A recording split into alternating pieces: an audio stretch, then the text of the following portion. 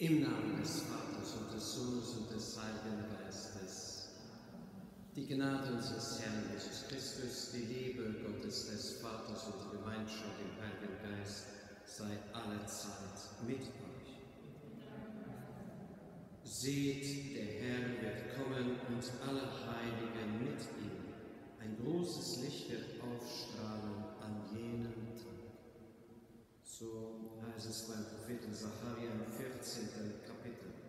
Der Herr wird kommen und im Sanctus singen wir, gelobt sei der da kommt im Namen des Herrn. Und es ist niemand anders gemeint als Jesus, der kommt im Namen Gottes. Er ist der, der von Gott dem Vater gesandt ist, um uns Menschen zu begegnen, um uns Menschen nahe zu sein. Wir wollen unser Herz für ihn bereiten. Wir wollen uns ihm und seiner Liebe öffnen. Herr Jesus Christus, du bist vom Vater gesandt, zu suchen und zu retten, was verloren ist. Herr, erbarme dich. Herr Jesus Christus, du hast in der Salbung des Heiligen Geistes gelebt und die Menschen berührt. Deine Kraft ging von dir aus die die Menschen verwandelt, geheilt und erneuert hat, die sie befreit hat. Christus erbarme dich. Herr Jesus, du hast bezahlt am Kreuz mit deinem kostbaren Blut all unsere Schulden, alle unsere Sünden. Du hast uns die Tür zum Herzen des Vaters geöffnet. Herr, erbarme dich. Nachlass, Vergebung, Verzeihung unserer Sünden schenke uns der allmächtige Herr, der Vater, der Sohn und der Heilige Geist. Lasset uns bitten. Herr und Gott, in unserer Bedrängnis rufen wir zu dir. Erhöre die Bitten deines Volkes, bewahre uns vor aller Ansteckung des Bösen und tröste uns durch die Ankunft deines Sohnes, unseres Herrn Jesus Christus, der in der Einheit des Heiligen Geistes mit dir lebt und herrscht in alle Ewigkeit. Lesung aus dem Buch Jesaja. An jenem Tag wächst aus dem Baumstumpf, Baumstumpf Isais ein Reisapfel. Ein junger Trieb aus seinen Wurzeln bringt reiche Frucht. Der Geist des Herrn lässt sich nieder auf ihn der Geist der Weisheit und der Einsicht, der Geist des Rates und der Stärke, der Geist der Kenntnis und der Gottesfurcht. Er erfüllt ihn mit dem Geist der Gottesfurcht. Er richtet nicht nach dem Augenschein und nicht nur nach dem Hörensagen entscheidet er, sondern er richtet die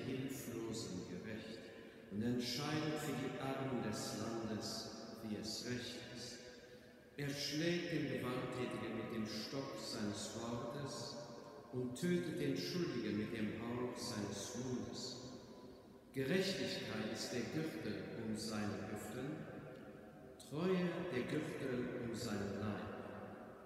Dann wohnt der Wolf beim Lamm, der Panther liegt beim Böcklein, Kalb und Löwe weiden zusammen, ein kleiner Knabe kann sie hüten.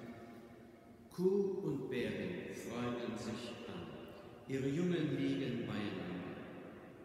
Der Löwe frisst Stroh wie das Wind, der Säugling spielt vor dem Schlupfloch der Natter. Das Kind streckt seine Hand in die Höhle der Schlange. Man tut nichts Böses mehr und begeht kein Verbrechen auf meinem ganzen heiligen Weg. Denn das Land ist erfüllt von der Erkenntnis des Herrn so wie das Meer mit Wasser gefüllt ist. An jedem Tag wird es der Spross aus der Wurzel Isais sein, der dasteht als Zeichen für die Nationen. Die Völker suchen ihn auf, sein Wohnsitz ist prächtig. Wort des lebendigen Gottes. Gerechtigkeit blüht auf in seinen Tagen.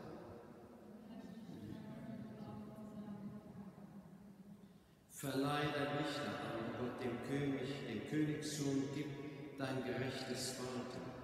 Er regiere dein Volk in Gerechtigkeit und deine Armen durch rechtes Urteil. Gerechtigkeit blühe auf in seinen Tagen. Die Gerechtigkeit blühe auf in seinen Tagen und großer Friede, bis der Mond nicht mehr da ist.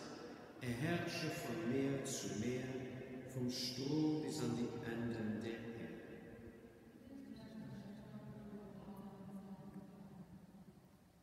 Er rettet den Gebeugten, der um Hilfe schreit, den Armen und den, der keinen Helfer hat.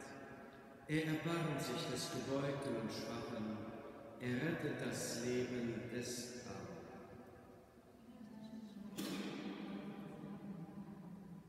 Sein Name soll ewig bestehen. Solange die Sonne bleibt, sprosse sein Name.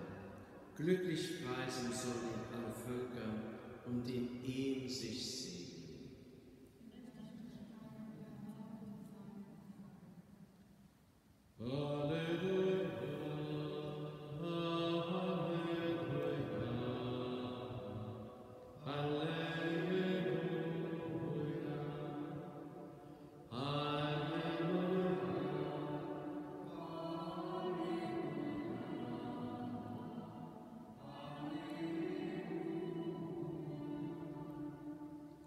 Seht, unser Herr kommt mit Macht, die Augen seiner Knechte schauen das Licht. Halleluja.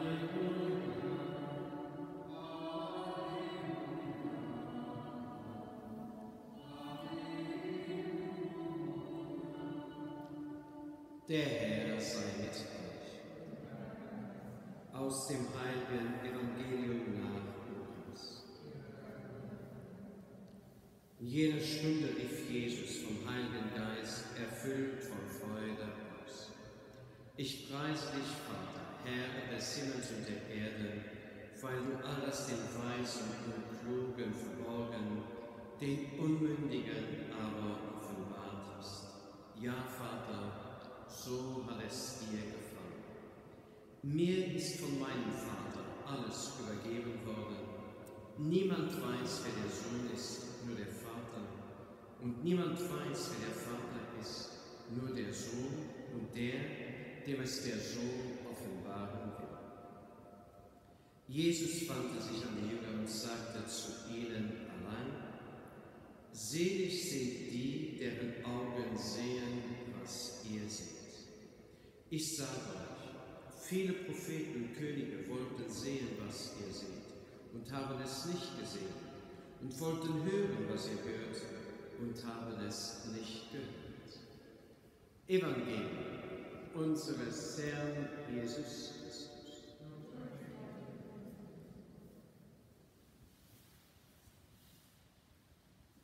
Selig sind die Augen, sind die, deren Augen sehen, was ihr seht. Jesus sagt zu den Jüngern, nicht so viele erkennen das und sehen, erleben mit ihrem Herzen das, was ihr erlebt. Seid euch dessen bewusst, welche Gnade ihr habt. Und Jesus sagt das nicht als eine Kritik, als ein Vorwurf, sagt, jetzt müsst ihr noch mehr, jetzt müsst ihr noch mehr. Nein. Sie haben ihr Herz berühren lassen.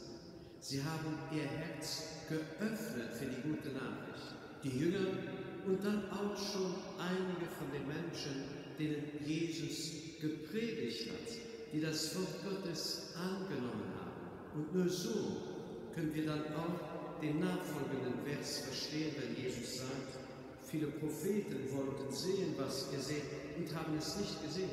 Ja, was wollten sie denn sehen? Sie konnten es auch nicht sehen, die Propheten jedenfalls nicht, weil Jesus noch nicht gekommen war. Aber nun ist Jesus gekommen. Jesus ist da. Der Retter ist schon da. Das dürfen wir nicht vergessen, auch wenn dieser Satz jetzt in dem berühmtesten Weihnachtslied dann wieder gesungen wird. Christus, der Retter, ist da. Ja, er ist da. Sie wollten hören, was ihr hört, und haben es nicht gehört. Wie glücklich dürfen wir uns schätzen, all das zu wissen, zu hören, auch manches zu sehen, was Jesus, was Gott in unserer Zeit tut. Und dann jubelt Jesus wieder. Das sind die Verse vorher, wo er sagt, Vater im Himmel, ich preise dich, ich lobe dich. Das hast du all den Weisen und Klugen verborgen, den Unmündigen aber offenbart. Das dürfen wir jetzt nicht so verstehen, als ob die Weisen und die Klugen das nicht sehen und hören sollen. Aber ganz oft stehen wir mit unserer Weisheit, mit unserer Klugheit, stehen wir uns selbst im Wege. Hat Jesus nicht gesagt, wenn ihr nicht werdet für die Kinder, werdet ihr nicht in das Reich Gottes gehen können. Das ist gemeint. Einfach werden, wie ein Kind werden. Liebe Brüder und Schwestern, wir sind im Umgang mit unseres Gleichen sind wir ja manchmal vorsichtig und ich sage nicht, dass wir nicht vorsichtig sein dürfen. Aber wie oft kommt es vor, dass wir übervorsichtig sind? Warum? Weil wir von Menschen enttäuscht und verletzt wurden, vielleicht sogar hintergangen wurden und das schmerzt, das tut weh. Und die normale Reaktion ist die, jetzt werde ich mich schützen. Das will ich mir nicht mehr, ich will das nicht mehr zulassen, dass dies und jenes mit mir geschieht. Und so entwickeln wir eine gewisse Distanz oder wir bauen so geistlich gesprochen unsichtbare Mauern, um nicht mehr verletzt zu werden. Aber was passiert dabei? Das, was wir dann gegenüber Menschen so aufbauen, so die Schutzmaßnahmen, sagen wir mal, sehr oft unbewusst, auch mit unseren Gefühlen, bauen wir das auch gegenüber Gott auf. Und das ist nicht mehr richtig. Und damit, sage ich jetzt mal, verbauen wir uns den Kontakt zu Gott. Und wir machen es uns selbst, aber auch Gott schwer, zu uns durchzukommen, dass er zu uns kommen kann.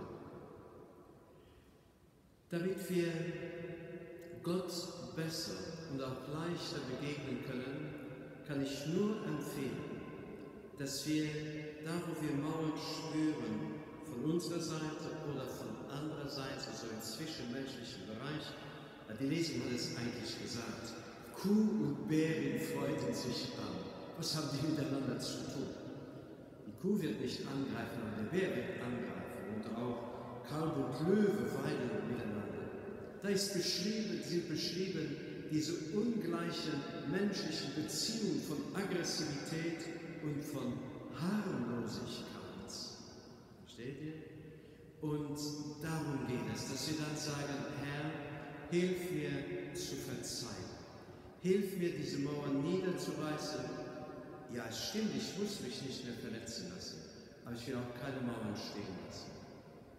Und ich komme jetzt zu dem Ausgangspunkt. Jesus hat gesagt, selig seid ihr. Selig sind die kleinen Unmündigen. Selig sind die, die wieder volles Vertrauen haben, wie ein Kind. Dass wir vor Gott Kinder werden. Ohne Angst, ohne Vorurteil, ohne diese Befürchtungen. Wenn ich jetzt Gott etwas näher komme, was wird er dann tun? Diese Angst war während Jahren meine Angst. Ab 15 oder 16 war das meine Angst. Dann ging es, ja, ich bin Gott näher gekommen, immer näher, ich hatte auch viel Freude. Aber wenn ich danach gedacht habe oder mich gefragt habe, in welche Richtung wird dein Leben gehen? Wird es Richtung, also beruflich und dann damit verbunden auch dein Status? Wie wirst du leben? Zölibatär, Gott geweiht oder mit Familie? Oh, da waren viele Befürchtungen. Und ich habe gesagt, ja, Gott wird mich doch hoffentlich nicht zum Priester rufen. Hm. Das war eine Befürchtung. Ich war unsicher.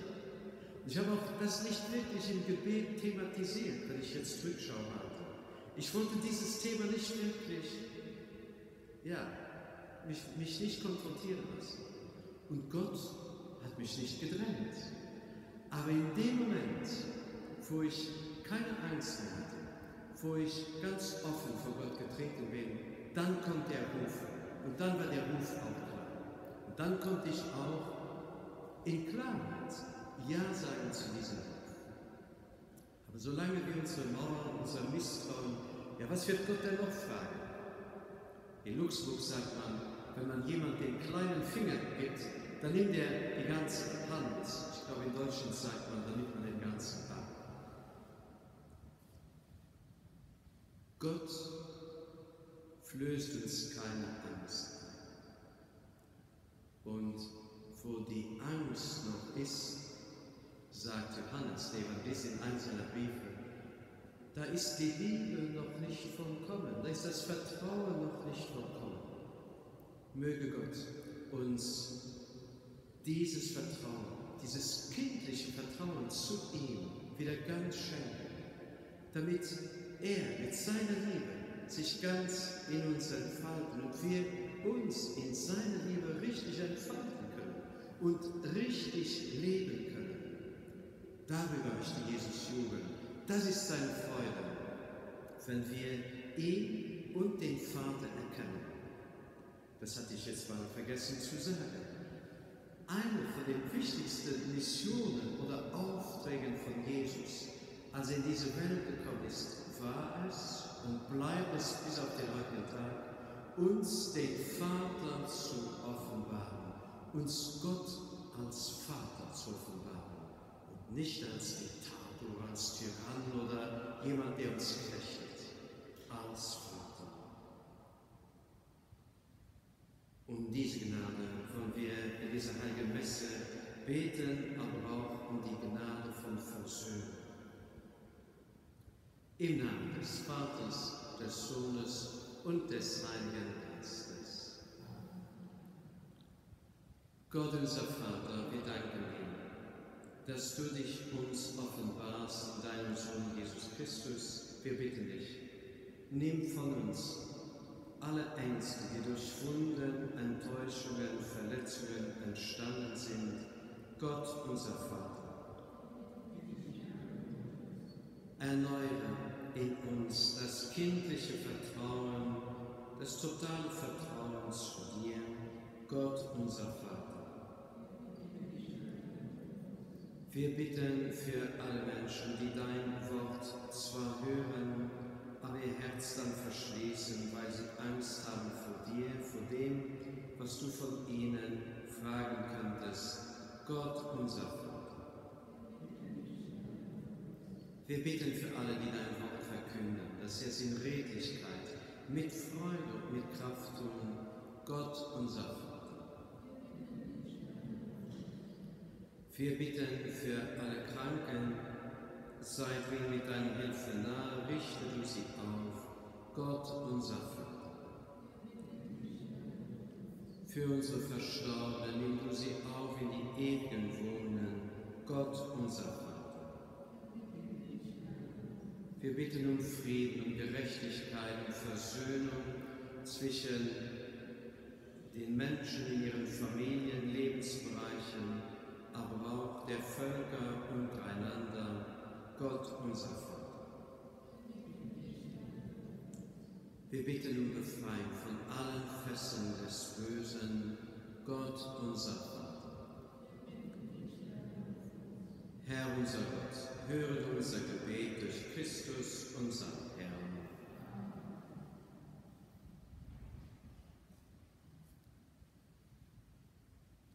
Gepriesen bist du, Herr, unser Gott, Schöpfer der Welt, du schenkst uns das Brot, die Frucht der Erde und der menschlichen Arbeit. Wir bringen dieses Brot vor dein Angesicht, damit es uns zum Brot des Lebens wird.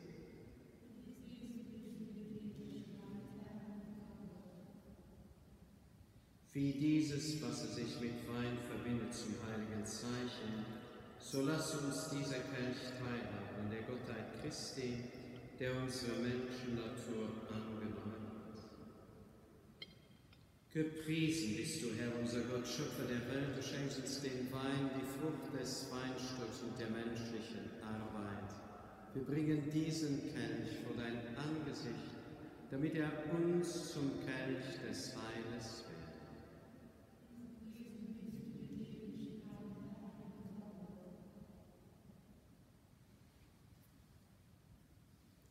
Herr, wasche ab meine Schuld, von all meinen Sünden mache mich rein.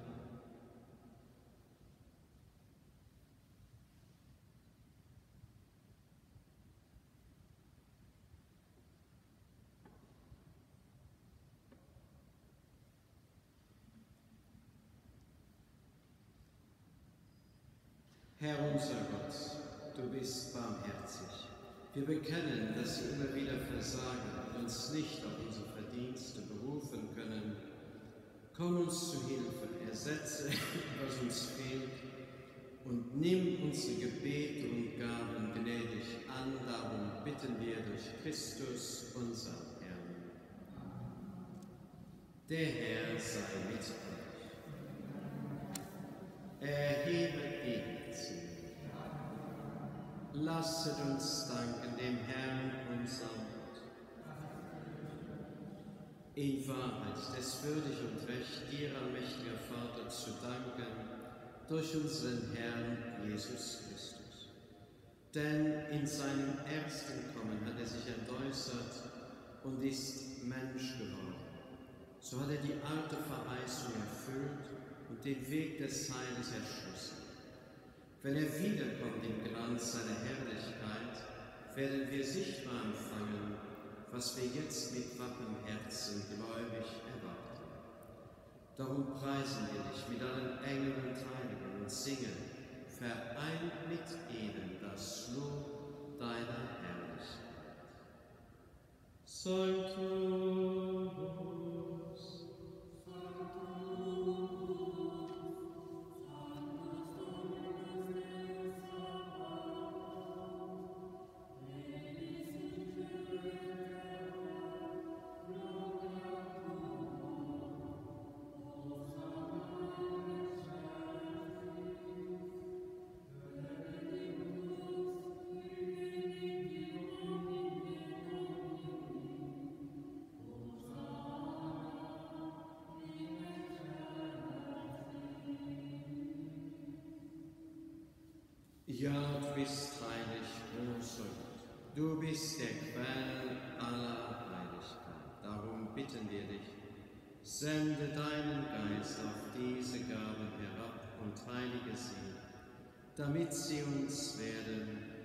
Leib und Blut deines Sohnes, unseres Herrn Jesus Christus. Denn am Abend, an dem er ausgeliefert wurde und sie aus freiem Willen dem Leiden nahm er das Brot und sagte dann, brach es, reichte es seinen Jüngern und sprach, nehmet und esset alle davon. Das ist mein Leib, der für euch hingegeben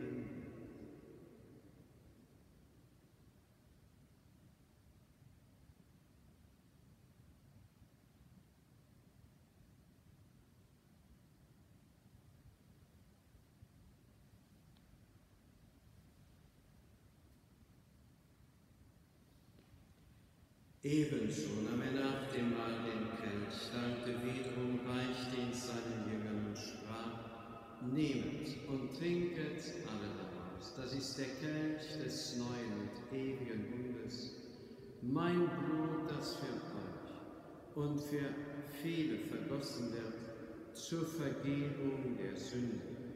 Tut dies zu meinem Gedächtnis.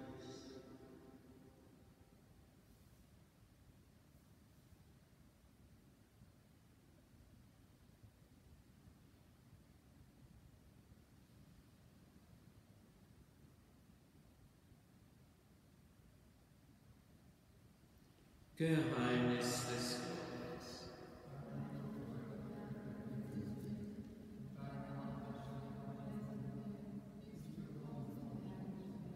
Darum, gütiger Vater, feiern wir das Gedächtnis des Todes und der Auferstehung deines Sohnes und bringen dir so das Brot des Lebens und den Kelch des Heiles.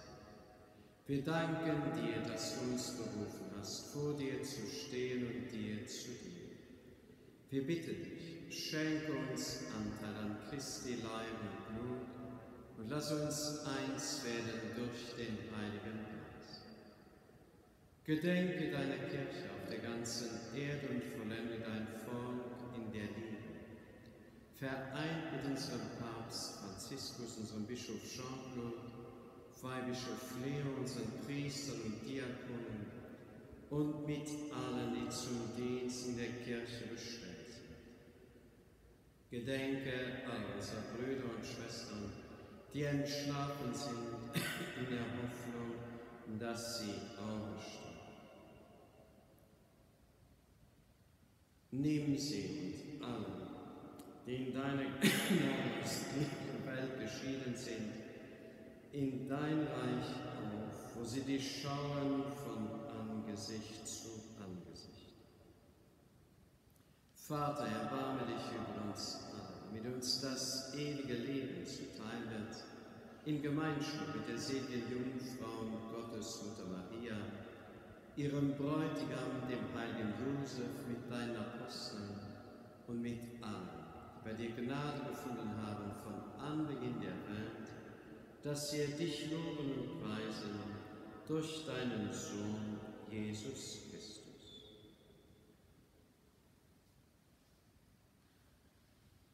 Durch ihn und mit ihm und in ihm ist dir Gott allmächtiger Vater, in der Einheit des Heiligen Geistes, alle Herrlichkeit und Ehren, jetzt und in Ewigkeit.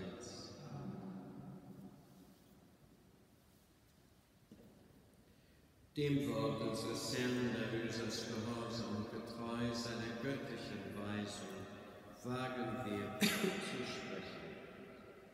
Vater unser geheiligt werde dein Name, dein Reich dein Wille geschehe, wie im Himmel, so auf Erden. Unser tägliches Brot gib uns heute und vergib uns unsere Schuld, wie auch wir vergeben unseren Schuldigern und führe uns nicht in Versuchung, sondern erlöse uns von dem Bösen.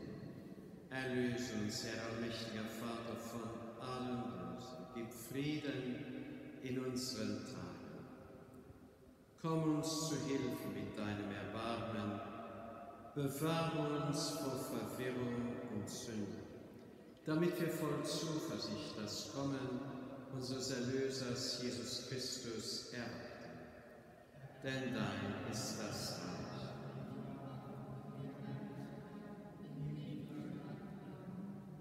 Der Herr hat zu seinen Aposteln gesagt, Frieden hinterlasse ich euch, meinen Frieden gebe ich euch. Deshalb bitte Herr Jesus Christus, schau nicht auf unsere Sünden, sondern auf den Glauben deiner Kirche. Schenke ihr nach deinem Willen Einheit und Frieden. Der Friede des Herrn sei alle Zeit mit euch.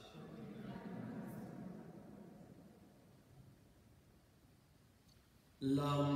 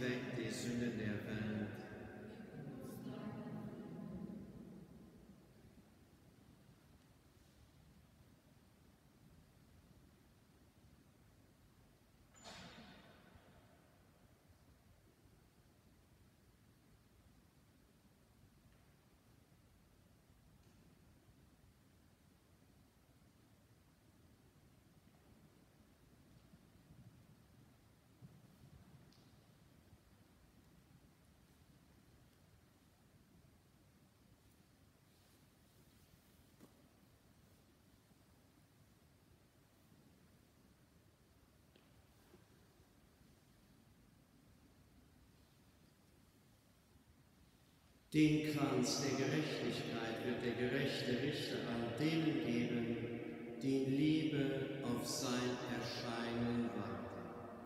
Seht das Lamm Gottes, das hinwegnimmt die Sünden der Welt.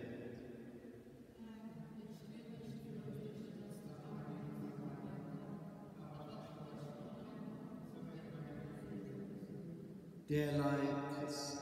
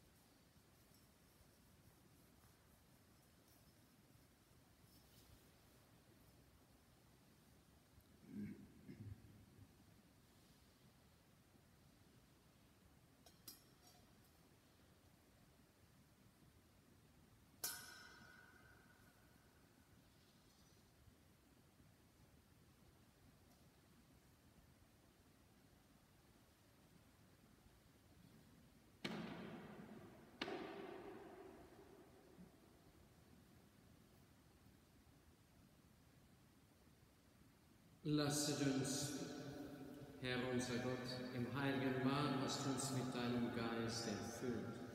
Lehre uns durch die Teilnahme an diesem Geheimnis die Welt im Licht deiner Weisheit zu sehen und das Unvergängliche mehr zu lieben als das Vergängliche. Darum bitten wir durch Christus, unseren Herrn. Der Herr sei mit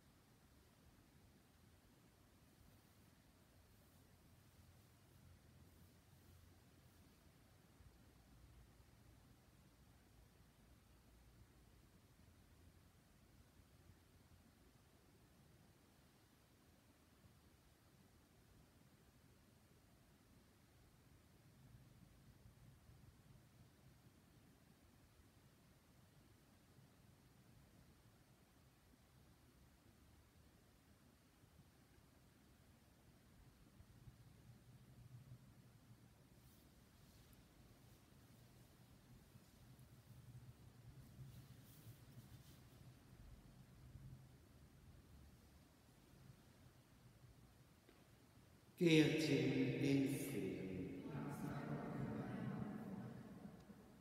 Gegrüßet seist du, Maria, voller Gnade, der Herr ist mit dir. Du bist gebenedeit unter den Frauen und gebenedeit ist Frucht deines Leibes, Jesus. Heilige Maria, Mutter Gottes, bitte für uns Sünder,